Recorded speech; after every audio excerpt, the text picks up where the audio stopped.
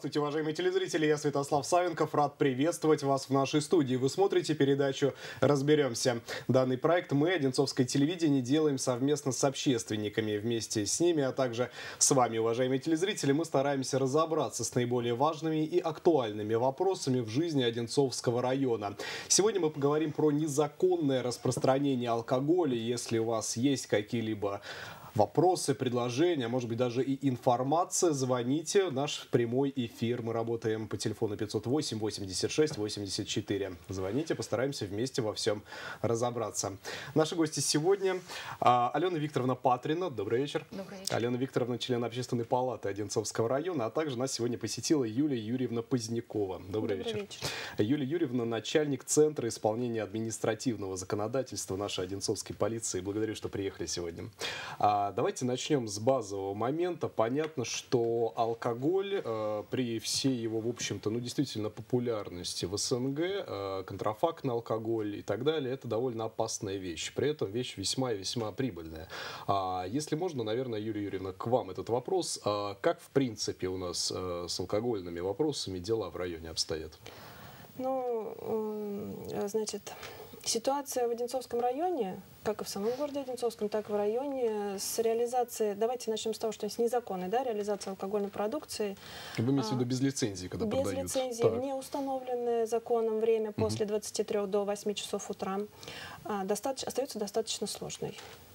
То есть, э, ну, наверное, я скажу сухими цифрами, только нами, Одинцовским ОД, составлено более 450 административных протоколов за 10 месяцев 2016 года.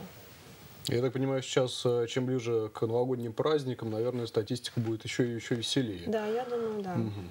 Я думаю, да. А с чем вы это связываете? Почему вот именно у нас такая напасть действительно нашла хорошее такое лежбище? У нас, вы имеете в виду в Одинцовском Да. районе? Я думаю, что это лежбище не только у нас в Одинцовском районе, а по всей Московской области, как показывают. Возможно, и по всей примеры. стране, в общем-то, и по всему Возможно. СНГ. Возможно. А у нас имеется звонок от телезрителя. Давайте с ним поговорим, потом вернемся к нашей теме. Здравствуйте, вы в прямом эфире, мы вас слушаем. Алло, добрый день. Добрый вечер. Да, добрый вечер. Это Елена Сергеевна. Я хочу поблагодарить администрацию района и э, полицию, которая делает много так э, вкладывает так много сил по поводу того, чтобы пресечь торговлю алкогольной продукцией, табачными изделиями нашим подросткам. Спасибо большое.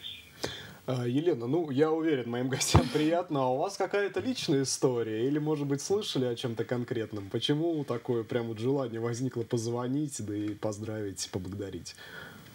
Дело в том, что вот у нас э, в магазине регулярно продавали, я была свидетелем, э, табачную продукцию детям.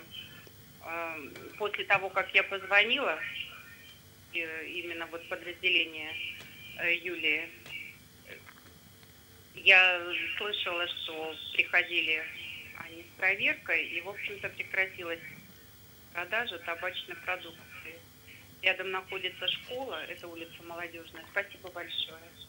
Спасибо. А вам, в свою очередь, спасибо за звонок. Я напоминаю, уважаемые телезрители, мы сегодня говорим о нелегальной реализации алкогольной продукции в Одинцовском районе. Если у вас имеется какая-либо информация, предложение, возможно, вопросы, звоните. Мы работаем в прямом эфире 508 86 84, наш телефон. А, Ну что же, вернемся к нашей беседе. А, Получается, что да, действительно реализуют, э, действительно работают без лицензии, работают э, в внеурочное, можно так сказать, время. А неужто не отпугивает, что действительно могут прийти и наказать? Отпугивает, отпугивает. Особенно отпугивает э, высокие штрафы. А, Если а при- можно, если вот прям вот по факту, да, сколько для юридического лица, для индивидуального предпринимателя? Ну, здесь небольшая градация идет э, за правонарушение. То есть, если э, правонарушение связано в неустановленное время, то э, штраф на индивидуального предпринимателя от 5 до 10 тысяч рублей, на юридическое лицо от 50 до 100 тысяч рублей. Если мы говорим о, реализации алкогольной продукции без лицензии, то здесь штрафы на индивидуальных предпринимателей от 4 тысяч рублей, а на юридических лиц от 200 до 300 тысяч рублей.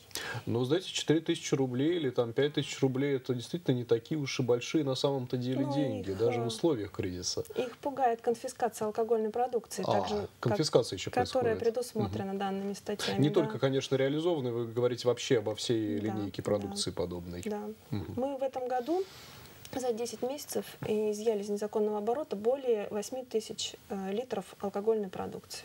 А потом они ликвидируются каким образом?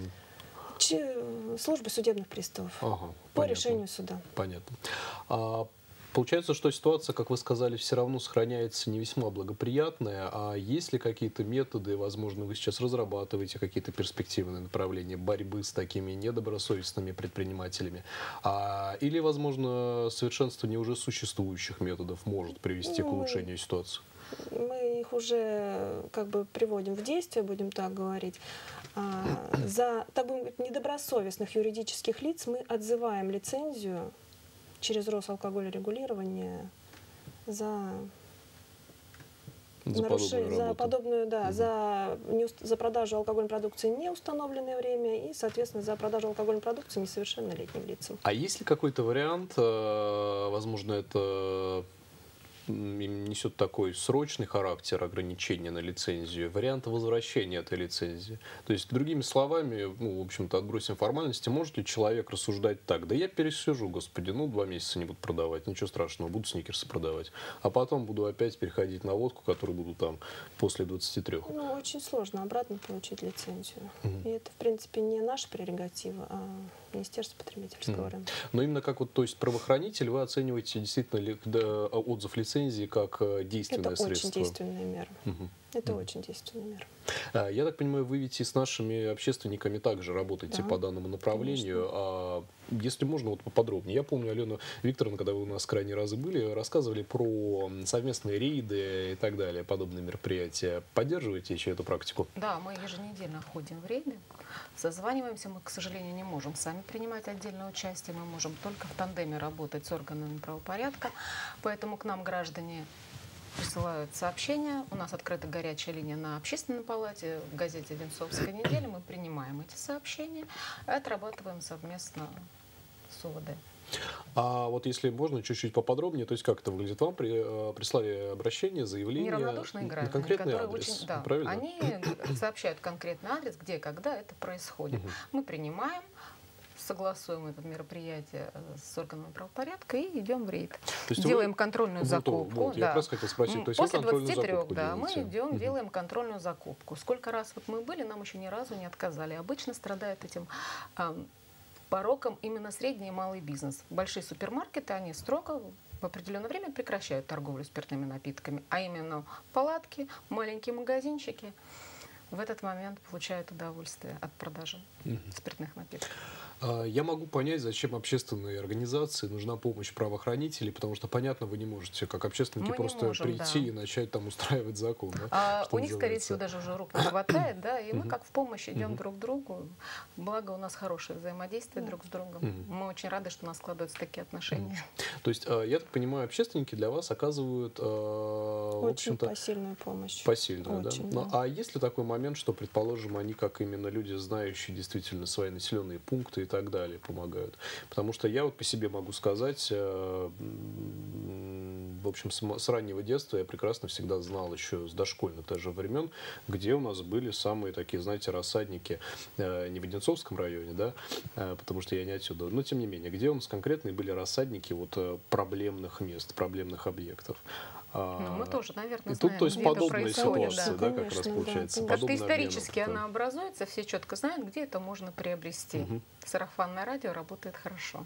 И граждане иногда боятся, стесняются. Они не звонят в органы правопорядка. Почему-то им комфортнее позвонить нам или в газету, или в общественную палату.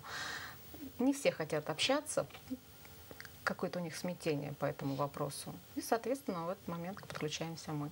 Ну, я так понимаю, силовые структуры внушают не только уважение, но и страх, конечно, в общем, так, ну, так и должно быть. Они иногда деле. говорят, что мы будем отвлекать, когда есть вы. А, Юлия Юрьевна, а есть ли какая-то процедура по поводу вот именно обращений подобных? Обязан ли человек, если он хочет сообщить подобную информацию, ну, предположим, заявление заполнить своими там, нет. паспортными данными? Так, не нет? обязан, нет. Он может позвонить по телефону либо в территориальный отдел полиции по месту жительства, либо по телефону в дежурную часть УВД Одинцовского муниципального района, либо, возможно, к нам в службу. И мы обязаны будем принять угу. его А звонок. если он, предположим, э, пожелает остаться анонимным? Анонимные мы не рассматриваем. Угу. То есть надо назвать имя, фамилию, да, отчество? Да, нужно назвать имя, фамилию, отчество.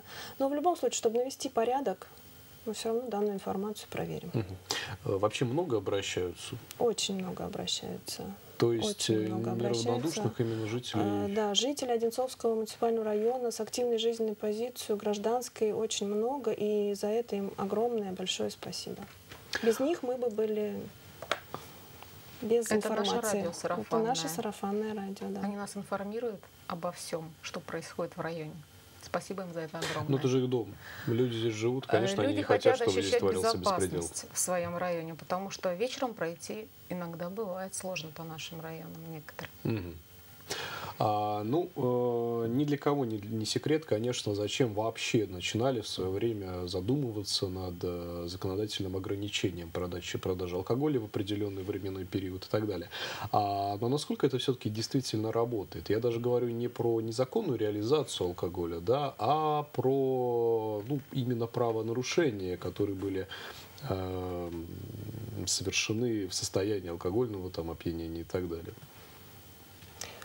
Соответственно, чем больше люди закупают алкоголь, тем больше у нас происходит распитие спиртных напитков, тем больше люди совершают преступлений в состоянии алкогольного опьянения. А корреляция Это... именно положительно имеется? То есть чем больше идет реализация, тем больше правонарушений происходит? Да, конечно, тем угу. больше преступлений. Это все взаимосвязано. То есть административная практика – это профилактика преступлений. И, соответственно, если люди закупают, распивают, то тут тоже обратный процесс, будем так говорить. А, Юлия Юрьевна, понимаю, что еще не закончен 2016 год, и весь позитив еще впереди. Мы уже сказали, что скоро Новый год у нас. А, корпоративы, Я, опять да, же. корпоративы, январские праздники и так далее. Но, возможно, у вас имеется какая-то такая переходная статистика вот на сегодняшний момент по итогам работы вашей? Переходная в, в Ну, на сегодняшний день вот какая-то статистика, мы... Ну, обращение, возможно. Обращений? Ой, ну, именно только вот в нашу службу в районе 300 обращений было за с начала года. С начала года, mm. да. Я не буду говорить за все Одинцовское ОД, потому что вы знаете, что mm-hmm. в нашей, ну, много служб, и в каждую службу приходит обращение. а, есть, а есть какая-то динамика по сравнению с прошлыми годами? Больше, по меньше? обращениям, ну, по количеству составленных э, материалов угу. больше. Угу. По обращению, честно сказать, не могу сказать. Угу. Но я думаю, что, конечно же, больше. Потому что мы стали открыты для народа.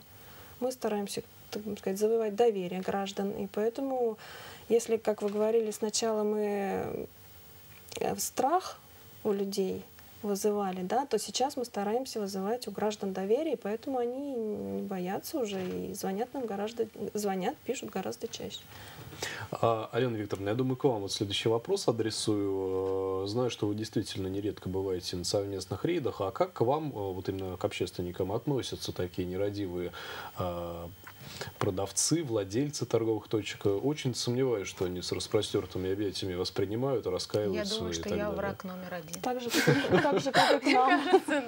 Я враг номер один. Меня, наверное, уже во многих магазинах узнают, особенно если я вечером. Уже не продают, я, к счастью, не покупаю, да, я не злоупотребляю, поэтому мне это не особо нужно, продукт питания, поэтому, но я думаю, что очень меня любят в этом То есть были конкретные случаи, да, неприятные? Ну, их конкретных случаев достаточно много, когда мы приходим, изымаем продукцию. Очень часто есть своя аудитория поддержки у данного магазина. Они очень быстро аккумулируются, приезжают, оказывают противодействие нам.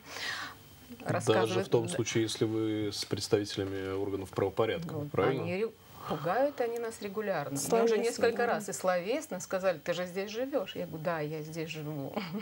И хотелось бы, говорю, мне комфортно находиться в своем городе. Ну, такой переходный момент, но мы вот переживаем как-то. Слушайте, ну это поразительно на самом деле. То есть, когда просто человек, его легко в себя представить, да, живет, по вечерам привык после там 10-11 ходить покупать алкогольную продукцию и так далее, и по первому звонку местного, простите, барыги приезжает угрожать э, общественным, общественникам и так далее. Я правильно понимаю? Да, То есть да. вот такие вот у нас проживают персонажи. Угу. Ну, я так думаю, что у них возраст такой, еще у них нет детей, лет там 20 с копейками. Когда появляются свои дети, осознанность приходит, они также будут переживать из-за своих родителей, за детей, и тоже будут делать акцент Вы на сказать, том, молодежи что... нужно перебеситься. А, ну, это в каждом поколении молодежи нужно перебеситься, это нужно пережить, но они есть, да, мы как-то вместе все сосуществуем, но пугают меня регулярно. Спасибо вам бодрит. А, Алена Викторовна, ну, а, подобные рейды вы, правда, довольно давно уже начали проводить. А, Общественная палата не первый год существует. А есть ли какие-то сподвижки действительно? Может быть, какие-то изменения, модернизация вот этой вашей совместной с правоохранителями работы? Вы знаете, раньше звонков было как бы мало, нам не особо доверяли. Сейчас вот у нас плюс горячая линия еще в газете. Начинали мы где-то с 10 звонков в день, сейчас доходит до 50, 60, и звонков 2, 3, 4 обязательно именно на тему как бы, алкоголя. А, то есть получается, что средства массовой информации, что общественные организации, что правоохранители э, больше стали получать именно с обращений, сообщений именно и обратной обращений, связи. Да, у нас обратная связь mm. вот за последние 3-4 месяца она, наверное, даже не утроилась, удесятерилась. На сегодняшний день так. А, ну что же, есть такой момент, э, довольно неприятный, в общем-то, но тем не менее это наши реалии, это несовершеннолетние, которые, в общем-то, по идее вообще не могут притрагиваться к данной продукции, тем не менее мы, к сожалению, видим действительно и курящих, вот как сейчас а, наша жительница Елена звонила, сообщала, и пьющих, уж про наркотики даже говорить не хочется. А насколько вот действительно данная ситуация у нас э, проблемно. Понятно, что оно вообще как таковое, как явление, есть везде. Но можно ли сказать, что Одинцовского, у, Одинцовского района реально проблема с несовершеннолетними, которые потребляют алкоголь? Вы знаете, когда речь идет, касается несовершеннолетних, то здесь какой бы то ни был район и какой бы то ни был город, это всегда проблема. Потому что если начинается с такого возраста, то ничего хорошего из этого не получится. Это мое личное мнение. Поэтому я считаю, что как, сколько бы, какие бы магазины ни продавали, это проблема. А, мы сейчас перейдем а, после небольшой паузы к данной теме, немного в нее углубимся. А сейчас, воспользовавшись случаем, хочу еще раз вас поздравить с праздником. Знаю, что 10 числа у вас Спасибо. отмечался День полиции. Спасибо. Мы готовили материал, связанный как раз-таки с вашим праздником. В наша информационная служба выдавала его в выпусках новостей. Предлагаю сейчас вам и нашим зрителям еще раз его посмотреть. В последние годы требования к сотрудникам полиции значительно возросли. Реформа Министерства внутренних дел, которую начали еще в 2009 году, дала понять, сегодня от российского полицейского ждут высочайшего уровня профессионализма. При наборе сотрудников особое внимание уделяют дисциплинированности, стойкости, физическому и психологическому здоровью. Внимание общества к деятельности правоохранительных органов самое пристальное – ведь сотруднику полиции даны очень значительные полномочия, дано право действовать от имени нашего государства. Ему доверена защита прав, свобод, законных интересов людей – и самое главное – жизнь человека доверена вам. Сотрудники межмуниципального управления МВД России Одинцовская работают по самым разным направлениям, каждый из которых требует особого подхода. Оперативный сотрудник должен быть убедительным, следователь – рассудительным, постовой – быстрым и внимательным. Озвученные руководством управления результаты дают понять, за всеми успехами Одинцовской полиции стоит неустанный труд множества профессионалов. Мы это показали своим самоотверженным трудом, конечно, мы добились довольно-таки серьезных результатов, в том числе по раскрытию тяжких, особо тяжких преступлений, где мы являемся абсолютными лидерами в раскрытии преступлений данного вида по Московской области. Традиционно в День полиции отмечают наиболее отличившихся сотрудников. Так вышло и на этот раз. 301 по личному составу присвоено полиции Эльмаровичу. На торжественном собрании присутствовали главы городских и сельских поселений. Взаимная помощь районных чиновников и правоохранителей – это одно из обязательных условий обеспечения правопорядка. Сердечно поздравляю всех, для кого такая служба стала настоящим призванием а борьба с правонарушителями правопорядка – дело всей вашей жизни. Сегодня правоохранители находятся в центре общественного внимания. Реформированная полиция стала сложной машиной, состоящей из множества деталей. Очевидно, что главным элементом этой системы являются люди.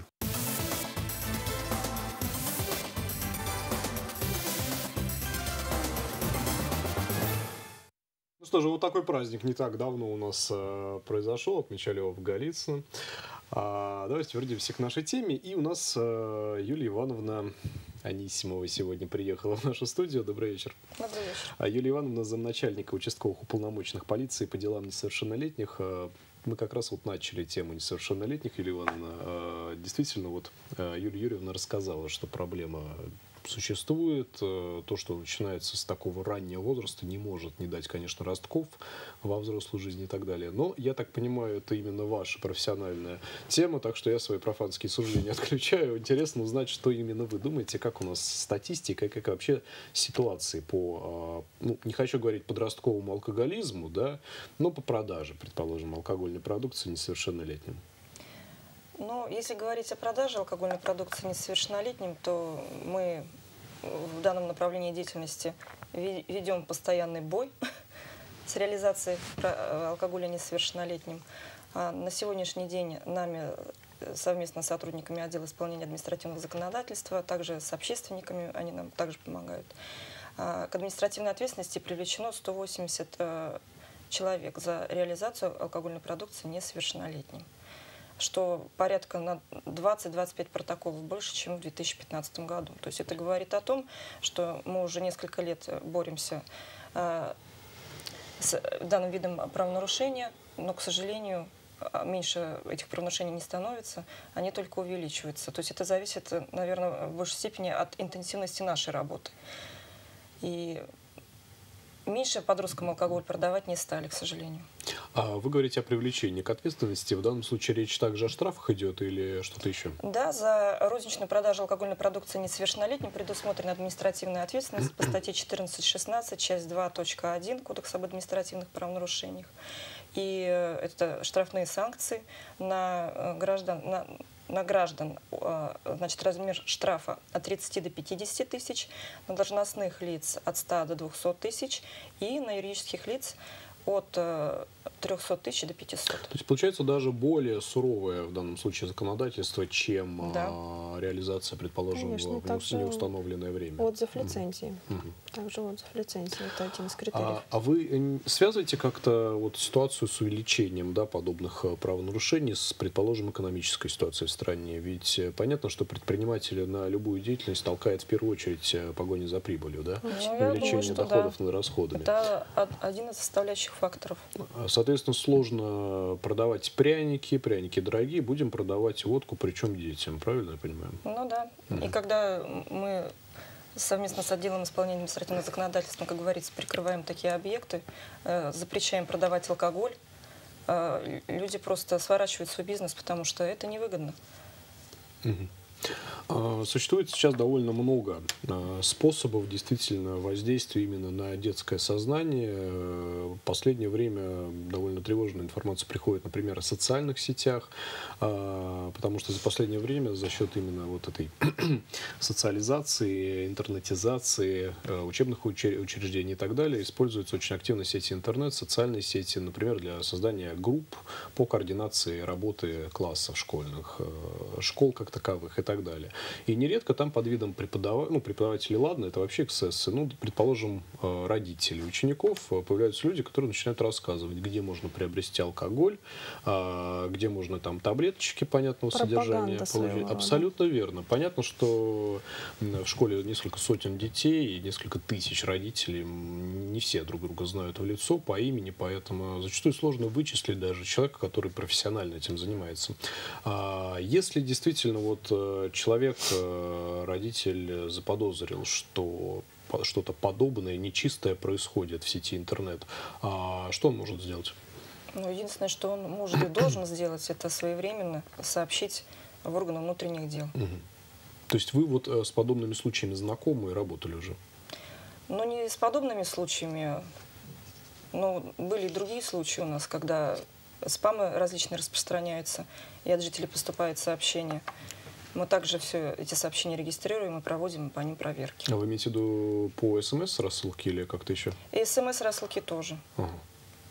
А, я ведь так понимаю, что это как раз-таки ваша область работы, что довольно важную роль здесь играет э, пропаганда, в том числе здорового образа жизни среди детей, потому что если ребенка с детства приучили, что пить это плохо, это не смешно, это не забавно и так далее, то э, едва ли он ну, там, у незнакомого человека где-то там из-под полы будет около школы через дорогу покупать да, что-то. А вы подобную какую-то работу проводите, посещаете ребят, может быть, с открытыми уроками, с чем-то подобным? Ну, начнем с того, что инспектора Э, отдела по делам несовершеннолетних, они в силу своих должностных э, обязанностей э, должны постоянно посещать образовательные учреждения, где среди учащихся инспектора проводят профилактическую работу. Это беседы, лекции на подобные вот на темы, о которых вы сейчас говорите. Также буквально вот недавно в октябре месяце у нас прошли мероприятия во всех образовательных учреждениях, мы даже их в средствах массовой информации освещали, и в детских садах, и в школах. Как раз а, эти мероприятия касались здорового образа жизни, пропаганды здорового образа жизни. А по, возрастном, по возрастной категории вы с каким классом начинаете вот работать? Я уже, как сказала, мы уже и в детских садах работаем с детишками. В детских садиках да, тоже? Да, угу. Э, министерство разрабатывает ну, понятно, специальные на, программы, да, в, игра, в игровой форме угу. детям преподносится как раз-таки вот профилактическая вот такая вот э, беседа по недопущению в дальнейшем употребления с их стороны алкогольной продукции а и негативному отношению к этому. Сами чувствуете какую-то реакцию именно от ребят, что они не просто, знаете, обрадовались, что математику отменили, а сотрудник Чувствуем, полиции конечно, пришел. детям очень нравится. На самом деле это открытые эмоции, и нам, как э, сотрудникам внутренних органов, нам очень приятно, когда идет такая вот отдача, когда у детей глаза светятся от радости. Не потому, что уроки отменили, на самом деле, а потому, что им это интересно. И что на них обращают э, внимание не только учителя, которые с ними непосредственно работают, но и также другие органы. А, Юлия Ивановна, вы довольно давно уже по этому направлению работаете. А, чувствуете ли какую-либо динамику, что поколения россиян как-то меняются, становятся лучше там, или хуже, относительно именно вот конкретного момента потребления алкоголя несовершеннолетними? Чувствую, конечно. Чувствую, что дети нынешнее вот время стали нам, намного более э, интересоваться. Кругозор у них расширился и языки дети изучают, и э, занимаются в различных сферах деятельности. Мы это можем видеть э, в различных и передачах, и также вот у нас здесь э, на нашем телевидении. А, а что касается алкоголя, ну, может быть, возможно, это связано с тем, что мы активизируем с каждым годом работу а, по недопущению продажи алкогольной продукции несовершеннолетним. Но на самом деле в этом году у нас замечается снижение административных правонарушений, совершенных несовершеннолетними, связанных именно с распитием алкоголя и а, особенно с появлением в состояния алкогольного опьянения в общественных местах. Угу. А если, предположим, а, действительно в автобусе или даже на улице, да, несовершеннолетний был задержан сотрудником, предположим, патрульно-постовой службы а, в состоянии явного алкогольного там, опьянения и так далее, а вот с ним в дальнейшем что происходит? Он забирается в отдел? Да, такой подросток доставляется в территориальный орган угу. внутренних дел, если он достиг возраста административной ответственности, на него составляется административный протокол а, по статье 20.21 Кодекса об административных правонарушениях.